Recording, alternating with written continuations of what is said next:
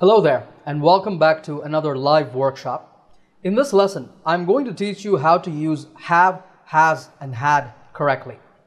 So here's the plan for this lesson.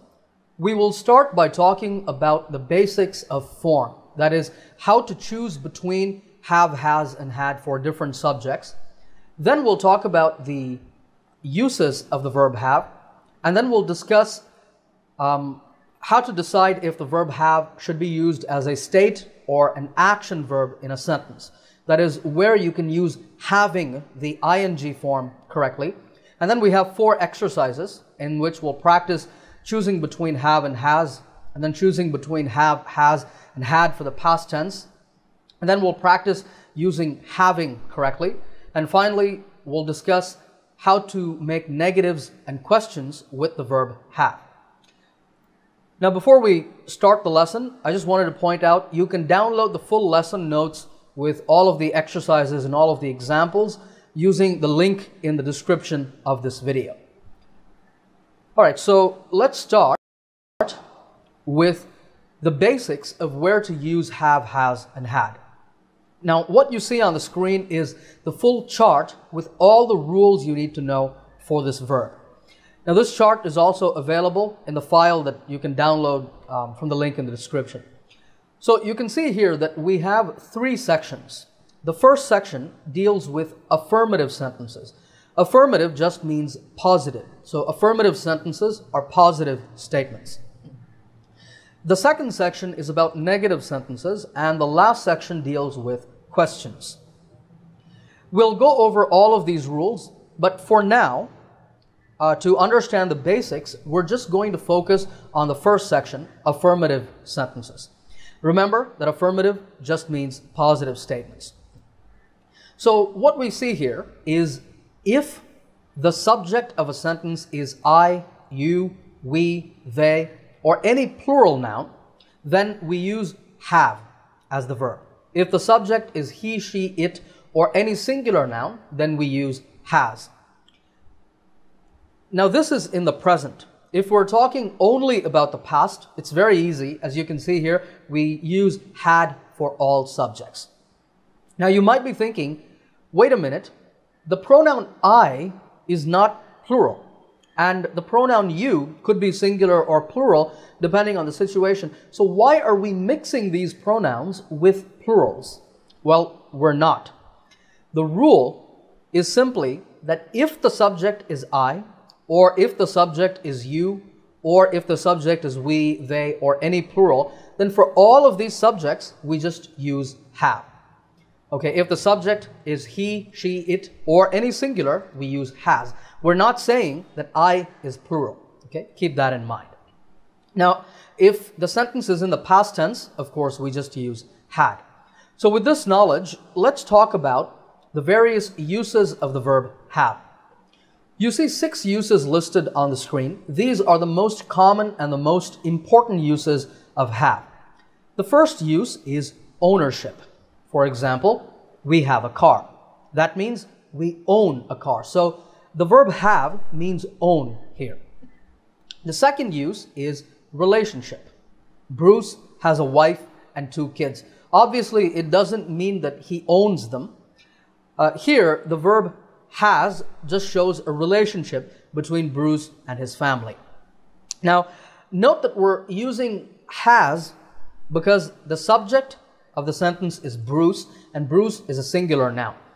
Now, if the subject were I, we would say, I have a wife and two kids. But here, Bruce is singular, so we're saying has. Now, use number three is to express features. What is a feature? A feature is a characteristic or a quality of a person or thing. For example, Anu has a fantastic singing voice. The voice is a quality or characteristic of Anu. We say Anu has because, again, Anu is a singular noun like Bruce. The next use is to talk about illness, that is, being sick. I have a really bad headache today. That means I am suffering from a headache today. Use number five is to talk about experiences. For example, I hope you have a great time at the party. That means I hope you enjoy yourself. I hope your experience is good. I hope your experience is fun. So the verb have is expressing uh, experience in this sentence. now, here the verb have is um, expressing positive experience, but we can also talk about negative experiences uh, with the verb in phrases like to have trouble, to have difficulty, to have problems, etc. And we will look at uh, some examples of that later on in this lesson. And finally, the last use, use number six, is to talk about eating or drinking. My colleagues usually have lunch at 1 p.m. Now, we can also say, my colleagues usually eat lunch at 1 p.m., and the meaning would be the same. The verb have just means eat in the sentence. Uh, I just want to point out that we're saying have, not has, because my colleagues is a plural subject. If it was one colleague, we would say has, but more than one colleague. Colleagues is a plural, so we're using have as the verb. So as you can see here, there are lots of different uses, different meanings for the verb have, aren't there? And actually, if you go to your dictionary, you might find that there are even more meanings, even more uses for this verb, but these six are the most important. Now, there is an important point here that you need to know about, and that has to do with state and action meanings of the verb. Now, these four here, the first four uses, are actually states. That means they express some general situation. When I say, uh, we have a car, in this first use, there's no action being performed here. It just expresses a state of ownership. Similarly, Bruce has a wife and two kids. Again, there's no action here. This sentence just expresses a state of relationship. And it's the same with number three and four as well. They're general situations, they're not actions.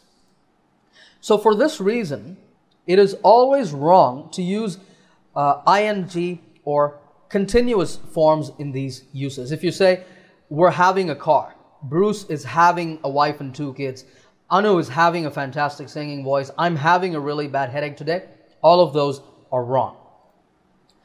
In fact, it's a very common mistake. This is something that I hear a lot of my students uh, say, uh, and this is something that you should avoid. If you're using the verb have as a state verb, don't use an ing form with it. However, in uses 5 and 6, to talk about experiences or to talk about eating or drinking, you can use continuous forms. You can say, I'm having a great time at this party. That doesn't express a general situation. It, expre- it expresses something I am experiencing right now. In the same way, we can also say, my colleagues are having lunch now.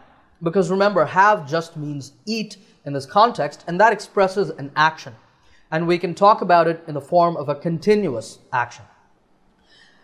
Um, also, you can talk about the past.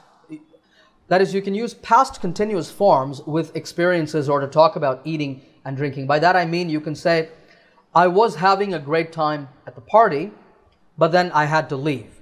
Okay, was having is a past tense use. My colleagues were having lunch when our boss came into the office and told everybody to get back to work. Okay, so my colleagues were having lunch is a past tense use. So the thing you have to remember is that if you're talking about ownership, relationship, a feature or a quality, or an illness, these are all situations and you should not use ing forms with them. If you're talking about experiences, or you're talking about eating or drinking, then it's okay to use having. So, with all of this in mind, I think you now have enough knowledge for us to go to the first exercise in our lesson. You see the form chart again. We're going to practice putting have and has in the correct place. I'm going to show you 10 sentences. In each one, I want you to tell me if you would use have or has. So let's go to the exercise.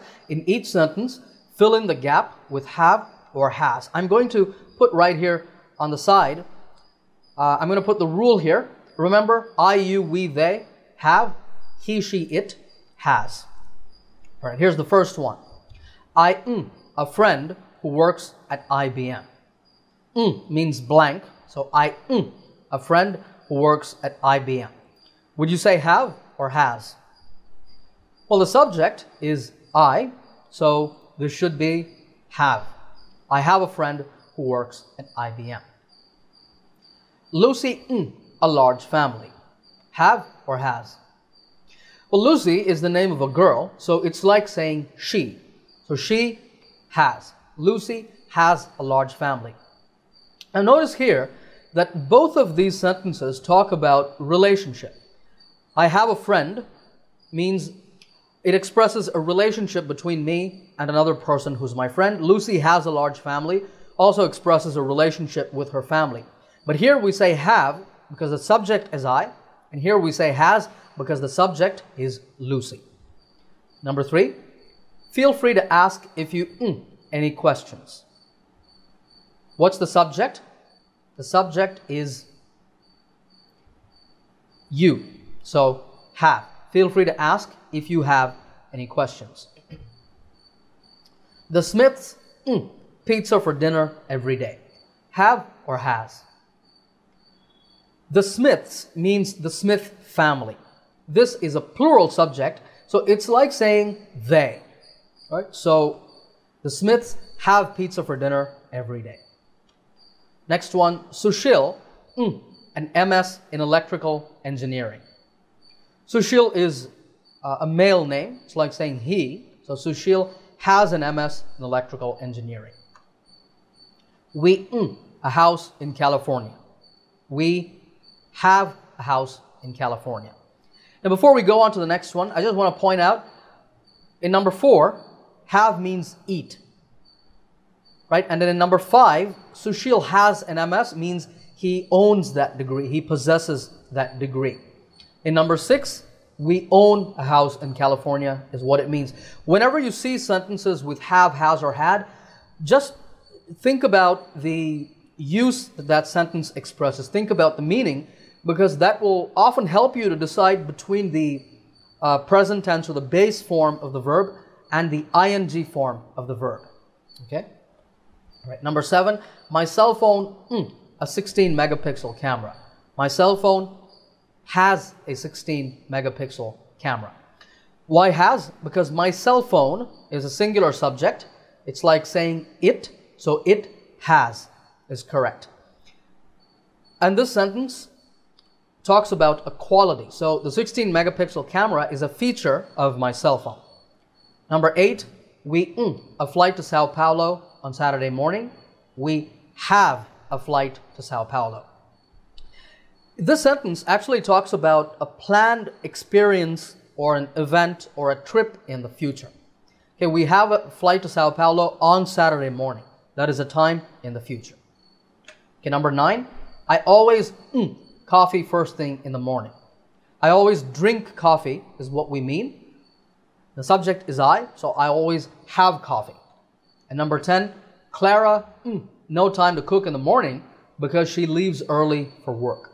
Clara is a girl's name, so Clara has no time to cook in the morning because she leaves early for work. How many of these 10 did you get right? If you're watching this live, let me know in the chat box. If you're watching the replay, let me know in the comments section below. Okay, now we're going to do our second exercise. In this exercise, you have to choose between have and has and also had. So we're going to add had to the mix here. So this means some sentences will be in the past tense, and if a sentence is in the past tense, you use had. If a sentence is in the present, then you use have or has depending on the subject. All right, let's uh, go to the exercise. Let me add here that if a sentence is in the past tense, you should use had. I forgot to put had over here in the, um, in, in the rubric, in the heading. Just remember that if a sentence is in the past, you have to use had. I mm, cereal and orange juice for breakfast today. Have, has, or had. What would you use? Actually, the correct answer is had here. Because by today, we mean this morning. Okay? I had cereal and orange juice in the past. It was the recent past, but it was still in the past, so had. Number two, Radha, mm, beautiful eyes, doesn't she? What would you put here?